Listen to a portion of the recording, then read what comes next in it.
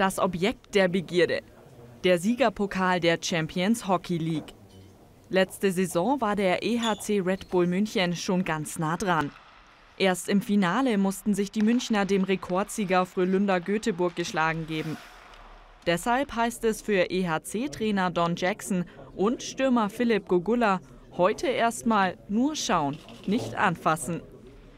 Die nächste Chance auf den Pokal beginnt dann schon kommenden Donnerstag. Wir sind jetzt in der, in der Vorbereitung und ähm, die Vorbereitung geht jetzt äh, langsam vorbei und äh, das sind natürlich diese wichtigen Spiele, die wir jetzt natürlich auch direkt haben und äh, da wollen wir uns natürlich direkt gut positionieren und natürlich äh, haben wir jetzt äh, äh, zwei schwere Heimspiele, aber die wollen wir natürlich gewinnen und ähm, wir wollen, wie gesagt, sehr, sehr gut in dieses Turnier starten und ähm, wenn wir dann die Gruppenphase überstehen, dann wollen wir natürlich mehr und das, das ist letztendlich dann natürlich der Sieg. Die Champions Hockey League geht bereits in ihre sechste Saison. Der EHC Red Bull München ist zum fünften Mal dabei und hat vor allem in der vergangenen Saison Eindruck hinterlassen. Nach den drei tollen Meistertiteln hat man letztes Jahr dann auch europäisch für, Furore gesorgt. Sensationale Spiele im Viertelfinale, Halbfinale, auch das Finale ja lange offen gestaltet.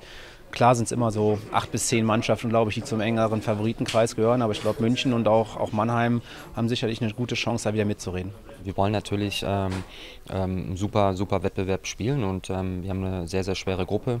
Ähm, da müssen wir uns durchsetzen und dann geht es in die K.O.-Spiele. Und ähm, natürlich will man äh, diesen Pokal äh, gerne auch mal in den Händen halten. Der Gegner im ersten Gruppenspiel der Champions Hockey League am kommenden Donnerstag ist der Schweizer Club HC Ambri Piotta.